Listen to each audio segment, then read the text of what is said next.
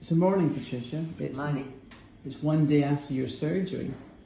And I'd love for you to just share with you your thoughts about why you had your surgery, your experience during the consultation that we had, the surgery that you had only 24 hours ago, and today that you're ready to go home. So can you just start as to what the problem was and what it was affecting you?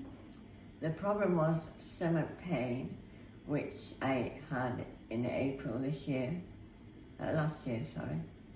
Um, and then I had a very bad episode of pain and sickness in August, following which I was diagnosed with gallstones. I decided after consulting with the doctor and my family that I would first of all try a diet. See, a low fat diet would help. This didn't, not really. It meant I was um, losing weight to the point where I thought there's a bigger risk in my fading away than in surgery. Having spoken with Dr. Farid, who was extremely, I felt, competent, skilled, he explained all the difficulties and the benefits of surgery, what the result would be, so well that I decided I would have surgery. Good.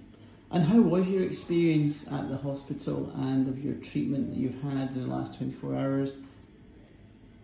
The treatment has been excellent.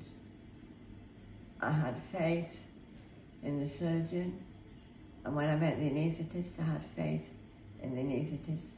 I knew they both knew their job, knew what they were doing. I had no fear whatsoever. And normally I'm a worrying person, but I didn't. And um, the hospital staff have been extremely kind. Great. And this morning you're about to go home shortly.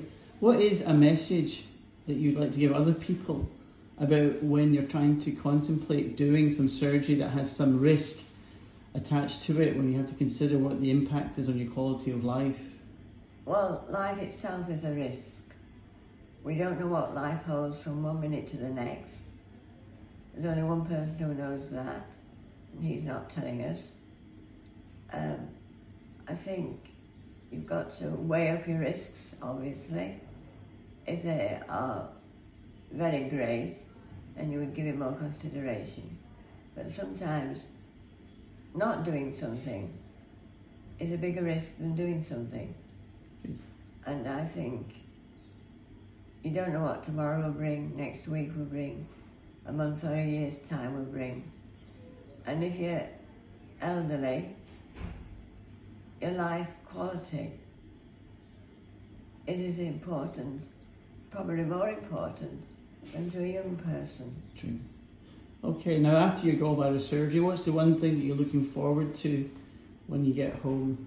Eating without fear, Excellent. knowing I can look at something and not have to think, dare I risk having that or not? Shall I not risk that pain coming back? Because the pain is excruciating.